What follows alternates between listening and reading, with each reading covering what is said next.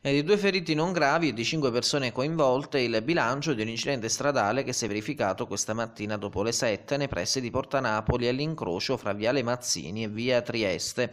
Al vicino ospedale dell'Annunziata sono finiti due fratelli, un ragazzo e una ragazza, entrambi di Sulmona, che viaggiavano a bordo di una Nissan grigia diretta in Via Trieste. Da tutt'altra parte proveniva il furgone, dal centro storico per essere precisi, pronto per imboccare Viale Mazzini. A bordo del mezzo pesante viaggiavano tre operai.